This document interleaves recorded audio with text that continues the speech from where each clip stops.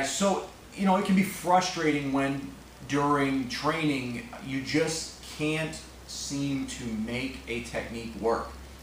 And inevitably you start to ponder, well, why isn't this move working for me? You know, and in worst case scenarios, you start to go, well, I suck. Um, it's not true. So fortunately, diagnosing the problem with technique can be solved in a pretty simple four-step process. Uh, all it's going to take is you putting your ego aside and, and really self-examining your jiu-jitsu. So the most common reason, right, reason number one uh, for failure of a technique is that you've simply overlooked some important details. So review the technique, um, examine your notes, uh, review the lesson a few more times, and, and just be certain that you've absorbed every detail of the technique. If that doesn't work, um, examine reason number two, which may be your training partner.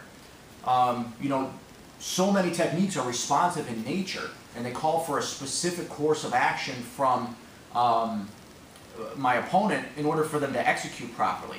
So for this reason, it's important that your training partner is doing the right thing for the move you're trying to, to practice. For example, if if a sweep is to be executed when your opponent is driving forward on you, and, and your opponent is just sitting back on their heels, bored, thinking about what happened earlier in their day, well, then you're certain to experience technique failure um, in this instance. And, and that's going to translate through a lot of the moves you drill. So make sure your, your, your training partner's uh, doing what they're supposed to be doing.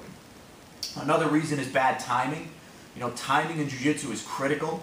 And if you're ex executing the steps correctly, um, but it's still not working, then your technique is probably off, or I'm sorry, your timing is probably off in the technique. So continue, you know, examining that technique over and over and over, and going for it over and over and over, and keep failing over and over and over, and then you'll develop the timing through failure. And lastly, physical limitations. If one to three aren't responsible for technique failure, then it's time to explore the very real possibility that you just can't perform the technique because of a physical limitation you have. Um, you know, maybe you got a bad back, a bad knee, uh, a bad arm, whatever. But if, if the physical limitation is the course of action, is, is the reason why you're not uh, pulling off the technique successfully, then it's time for you to, to begin experimentation with leverage, with timing, um, and modify the move for your physical limitation.